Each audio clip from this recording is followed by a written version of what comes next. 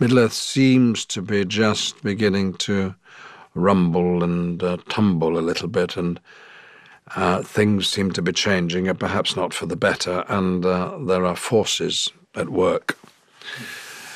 Uh, and Gandalf, in the course of The Hobbit, uh, discovers what those forces are and takes action.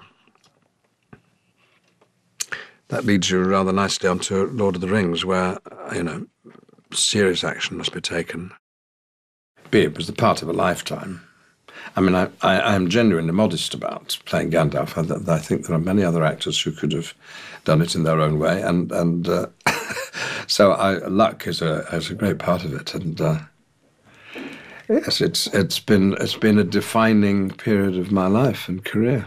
Mm.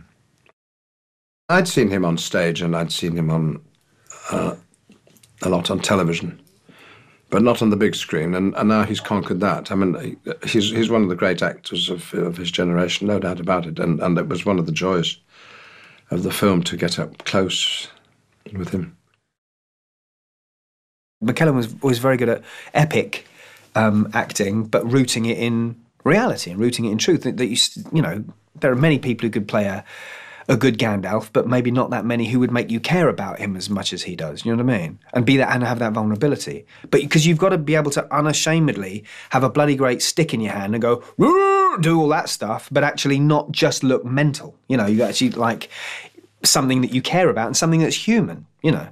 So all the while you've got to be, and I thought, I always thought he was a very good example of walking that tightrope. You know, it's a hell of an experience. I mean, it was you know, I can't I can't imagine my life for the last few years if that hadn't been a part of it. It's a huge part of my life, um, and I think it will be a huge part of my future.